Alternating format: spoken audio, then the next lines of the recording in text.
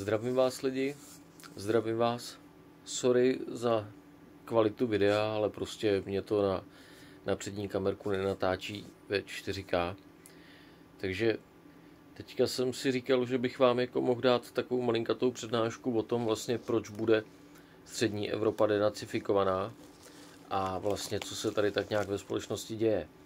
A vemte si, že, vemte si, že já, jak jsem v tom shortu říkal, že jsem prostě se zbali, protože já jsem napsal na teacher, a, aby změnil normy, jo, protože prostě, protože mě takhle obtěžovali prostě a, ve dvou barácích prostě lidi, jo, kdo jiný, že jo. Takže, takže když, e, když mi pustili do rozvodu v mém druhém bytě a v mém třetím bytě elektřinu, tak jsem prostě, tak jsem prostě napsal do tyčru a šel jsem na policii.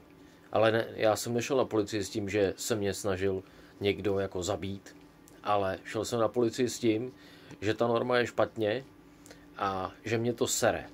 Jo? Takže, takže policie do dneška prostě nenařídila, policie to, jako nevím, jak to vyšetřili, do dneška mi nedali vědět, nebo já o tom nevím, třeba mi někdo vymazal datovou zprávu, nevím ale, ale prostě jako měla se prostě říct, aha, tady se dějou takovýhle sviňárny, tady se dějou takovýhle svinstva, musíme prostě všem nařídit, namotat si na, na, na vodovodní baterie prostě drát a uzemnit ho. Jo? Není nic jednoduššího, než to jako takhle jako uzavřít ten případ s tím, že vraždění se neprokázalo, ale v rámci prevence se teda musí jako předělat eh, všechny bytové domy a penziony a činžáky a prostě všechno, paneláky a tak. Jo? A teď si vemte, že já si tady teďka blbnu s tou fotovoltaikou, protože jako, protože tady nehodlám sousedovi platit prostě za elektřinu, protože mě to za to nestojí a já opravdu jako spotřebuju elektřiny jako denně jako za nic. Jo? Takže, takže si tady s tím hraju, hraju, hraju a teď jsem vlastně narazil na to, jak, jak mají být zapojený, vlastně jak má být zapojená fotovoltaika na střeše, jak mají být vlastně, jak mají být panely, jo, protože já jsem se o to nikdy nezajímal, tak jako když, když si k té problematice jako člověk nesedne, tak ani vlastně nepřemýšlí nad tím eh, logicky, jak by to mělo být, jo. Třeba eh, ten kluk na Akademii věd logicky dospěl k závěru, že když eh, ty stříbrné dráty prostě zabírají 4% plochy, tak když je dá na druhou stranu, jako je jako běžný, jako dávat eh, v čipech, prostě dělat propoje, jo, tak je to křemík, tak prostě protuneloval křemík a udělal spoje na druhé straně a vydělal 4% prostě energie. Jo. Takže, takže dá se prostě takhle logicky prostě nad čím uvažovat. A teď si vemte, že my jsme v klimatickém pásmu, ve kterém sněží. Jo? My nejsme žádný Španělsko, žádný Egypt, my nejsme prostě žádný Tunis, my tady prostě máme sníh, jo. Nám, tady ne, nám se tady neděje to, že se nám ten panel celý pokryje prachem a to je tak jediný, jako že se mu sníží jako celkově výkon, jako kdyby málo svítilo.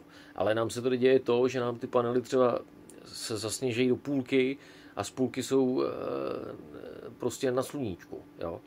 Takže, takže proto jsou tam instalované ty, ty bypass diody a proto si ty panely mají dávat horizontálně. To znamená ne na stojatu, jako teďka točím video, ale na ležato prostě. Jo, jako jsou leže, na ležato televize. A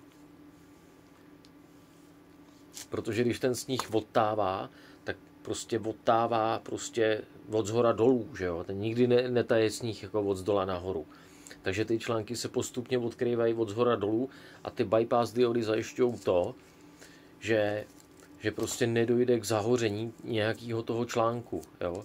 Já vám chystám tady natočit video, jak vlastně, jak to celý vlastně, jak to celý zapojovat, jak by to mělo být a jak nám tady vlastně některý, někteří intelektuálové nepochopili, že prostě ten half cut panel má být taky prostě horizontálně, protože to jsou jenom dva solární panely prostě eh, vedle sebe. Jo. Je tam ušetřený prostě, je tam ušetřený na tom, eh, v těch panelech je, ten panel je tak výkonný, že by ty vodiče musely být strašně tlustý. Jo? Když si vezmete, že by, ta, že by ta jedna cesta musela být přes celý ten panel, tak aby, aby to sebralo třeba z 600 W panelu 200 W, tak by prostě ta cestička, ta cestička by musela být tlustá, aby těch 200 W prostě zvládla. Jo? Takže, takže jako aby to zvládlo průchozí proud, tak to nemůže být drát, který se, který se stává čím dát tlustší, ale musí to být eh, kontinu, kontinuálně tlustý vodič, že jo? Tím, že je plochej, tak musí být široký a tím, že je tenký, tak musí být ještě víc široký a prostě musel by být ze, ze zadu na těch článcích opravdu, opravdu velký, velký vlastně vodič. To znamená, že aby se ušetřilo na tom tlustém vodiči, tak se, tak se to rozpůlilo, respektive tak se dala, tak se dala ta bypass dioda doprostřed a k ní se takhle natáhly prostě, nebo abych to ukázal takhle, jo, když vezmete zapalovač, tak z jedné strany natáhnete drátek, z druhé strany natáhnete drátek, ale prostě máte to, co se týče, co se týče výroby, tak je to to nejlevnější řešení. Ale prostě když ten panel postavíte, tak je to prostě jako když máte dva panely takhle prostě nad sebou. Jo. Takže když se, má, když se ten panel má dávat horizontálně, tak když otočíte tu jednu půlku, tak se vám otočí ta druhá vlastně, že jo? Jo, takže, takže nám tady pánové se snaží jako dokazovat ty svý fantas teorie a to, že mají, to, že mají doktoráty a tituly a něco takového. A tady přichází ten suprový level, že tyhle ty 600 W panely, jak si všichni tady nabouchají na baráky, tak pak přiběhne nějaký hajzlík, vezme vzduchovku, eh, střelí do jednoho článku a počká si, až ten barák lehne popelem. Takže tohle je na vás lidi přichystaný, takže vám firmy, jak si, jak si vám ve firmách nikdo jako nedomyslel to, že vám někdo záměrně zničí nějaký článek, aby vám vyvolal v obvodu prostě požár, protože na těch voltech a při těch ampérách lítají takový blesky, že to tam prostě, že to tam prostě blafne, chytne, schoří to i s barákem a každý elektrikář bude akorát tak, víte co, čurákem. Takže lidi, není to vůbec zábavný. Těch diod má být na tom baráku hromady a když jsem, když jsem prostě si tady teďka jako seděl a přemýšlel, jak bych to zapojil, tak vlastně, když si vezmete, že by měly být, máte takhle střechu a tahle míří eh, na východ, tahle míří na západ, tak vlastně tak se dělá to, že se spojí paralelně, že jo. Jenže když si dáte takhle na střechu ty panely nad sebe, tak byste je měli všechny takhle v řadě spojit paralelně a pak ještě paralelně k ním připojit vlastně tu druhou stranu jo, respektive tuhletu, tuhletu řadu. Takže a takhle následně pak skládat z těchto těch řad, pak skládat vyšší a vyšší a vyšší a vyšší napětí. Ale to už se dostáváme k tomu, jak se to na ty baráky dává a vlastně podle, podle počtu těch panelů, jo, kolik se vám jich vejde takhle horizontálně, tak podle počtu těch panelů pak vám vyjde nějaký napětí a podle toho se pak eh, nakupuje ten MPPT regulátor. Jo? Takže, takže to je k teoriím a můžu vám říct lidi, že tady se spousta, spousta svíní klepe na to, až, až jim přijde prostě na Darknetu zpráva, potřebuju, aby si tady ten barák prostě zapálil a, a víte co.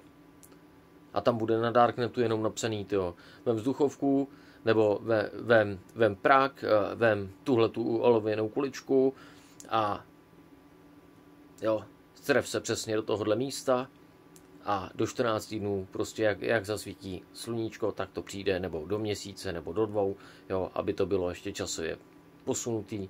Prostě lidi si to takhle provyskoumají, navyskoumají, stejně jako to zabíjení těch sousedů a pak si mezi sebou takhle vykšeftují nějaký prachy, pošlou si bitcoiny a bude tak nějak všechno.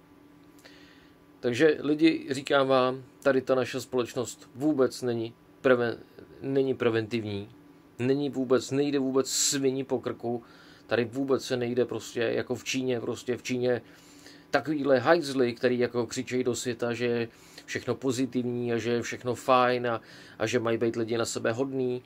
A přitom to jsou jenom sjížděči a zrůdy, který vlastně pak po nocích, jako stejně jako mě tady běhá po nocích světej bastard, prostě tady takhle furt leze, takhle furt čumí, jo, po nocích tady leze celý světej a furt tady jenom vykřikuje a heká, jo, protože si ty jako prase, tak takovýhle bastardů prostě se v Číně zbavují jako prostě brutálních sviní, protože takovýhle bastardi prostě do nekonečna opakují ty své bláboli o tom, že my jsme prostě, že my jsme cvoci, který si vymýšlejí, že tady se dějou takovéhle věci, přitom tady se takovéhle věci nedějou a, a snaží se z nás udělat blázny a takovýhle. Takže, takže když byste si pohovořili s nějakým narkomanem jako zkušenějším, tak byste se dozvěděli, že někteří narkomani berou drogy, aby mohli krást, protože pak mají zbystřený smysly a pak můžou chodit po bytě, kde spí lidi a ty lidi to neprobudí, protože ty narkomani jsou tak, tak strašně navětý, že prostě že prostě slyšejí všechno, i vlastně to dechání těch lidí, i dechání kočky, i dechání psa, takže jsou schopní prostě po tom baráku prolíst prostě jako strašná obrovská verbež. Takže, takže lidi, denacifikace prostě je o tom, že tady prostě naše vlády tohle to využívají jako svinstvo hnusný a nechtějí to vůbec zarazit, mají to jako prostě službu, jako službu, jo. A tady vláda místo toho, aby všem kryla záda, tak vláda jenom řekne, vláda řekne uh, něco, počká si, až se ozve kritik, kritik se ozve a svině jdou a kritika prostě ubijou. A tohle nám tady naše vláda provádí. V Číně už by takováhle vláda celá vysela. Protože prostě to je, to je chování, který není hodný tolerování. Aby, aby nám tady vystoupil premiér a něco řekl a počkal si, až se tady přihlásí kritici a až je ty svině pak, až ty kritiky svině pak dořežou, tak aby, aby, jako, aby se jim nikdo neplet do, do těch jejich prostě svinstev, jo, tak tohle na východě lidi jako opravdu netolerujou. Opravdu ne. To prostě, to je těžký, hnusný nacismus, to je svinstvo prostě a to přijde prostě vymítit. A když vymítit, tak jako plevel prostě vymítit a naházet na kompost. Takže když jsou tady lidi jako já, kteří tvrdějí, že prostě, že prostě tady prostě narkoman dostane zakázku eh, znetvořit někomu bohatýmu dítě, prostě aby to dítě eh, nezdědilo biznis, aby se z něj aby, aby vlastně aby nemělo potomky, jo, nebo něco takového, prostě aby ho zlikvidovalo, aby z něj udělal narkomana, aby, aby, aby ten narkoman pak zničil ty rodiče, aby ho mohli vydírat toho podnikatele nebo něco, tak prostě, tak narkoman dostane zakázku, jde, jde a je schopný prostě dostat se do firmy stylem, že zaúkoluje další narkomany, sjedou šéfa, sjedou ho na pohovor, šéf je na pohovoru spokojený, smažka zaleze, zaleze do firmy, tam všechny nasjede a jediný, co je jejím úkolem ve školce, nastřílet do dítěte třeba léky na změnu pohlaví, jenom aby se v tom děcku vytvořil prostě nějaký halus, prostě, který ho donutí k tomu, aby vlastně se vůbec neznalo jako bytost a postupně ho transformujou třeba z kluka na holku nebo z, holky, z holky na kluka, nebo já nevím, dneska je těch LGBT tolik, že asi se může z dětiček stát klidně i stůl jo, po těch drogách. Takže když tady jsou pak lidi, kteří tvrdí, že takovýhle dítě, který je z toho celý zblblý, tak první věc, co se dělá lidi, je to, že to dítě vezmete a okamžitě s ním jedete na krev, protože asi v jeho okolí je nějaká zrůda nebo nějaká svině, která se za A baví a nebo za B, která pro někoho pracuje. A nejhorší varianta je, že tady ten náš národ je tak debilní, že tady se tím lidi bavějí a mafie na tom vydělává. Takže, takže tady se dějou takový zvěrstva lidí, že to je hodný akorát tak denacifikace. A naše vláda vůbec nehodlá jako přijmout zákony aby se proti těmhle těm zvrhlům, který tady prostě operují dnes a denně, aby se proti ním zakročilo, aby se do kvality nakročilo. Proto nám celá Unie bankrutuje, proto, proto nám celá Unie vlastně, proto nám umírá biznis. Tady celá naše země potřebuje exportovat na východ. My potřebujeme exportovat, exportovat, exportovat. A nám tady pořád jenom ty smažky a ty zločinci a ty zrůdy prostě jenom vymýšlej to, jak se potají svět, místo toho, aby tam prostě přišli a řekli, tak a teď bude kokain prostě legálně a kdo bude chtít mít ve firmě si ty lidi, tak ať si je tam dá. A kdo tam nebude chtít se ty lidi, tak ať si je tam nedá. Razítko, štempel, odlasováno, jdeme dál. Prostě oficiální distributoři, oficiální prostě uh, prodejci, prostě legislativa, šup, šup, šup. Žádný, žádný zabíjení, žádný podplácení, prostě spousta, spousta zachráněných životů, ale o tohle tady nikdo vůbec nestojí. To máte THC, pervitin, kokain, prostě lisohlávky a o lidech, jako je Dušek, ani nebudu mluvit, jo, který, když tady začnou v médiích tvrdit, že on si vybral, že dostane rakovinu. No, protože on prostě někde si do nějaký svině říz, že je to svině, no tak ta svině mu to nanandala. Prostě vzala Spartam, nasypala mu ho do, do bábovky, do buchty, do kafe, prostě nasypala do něho, do něho tolika aspartamů, že prostě pak z, toho, pak z toho byla rakovina a pak na to chcíp.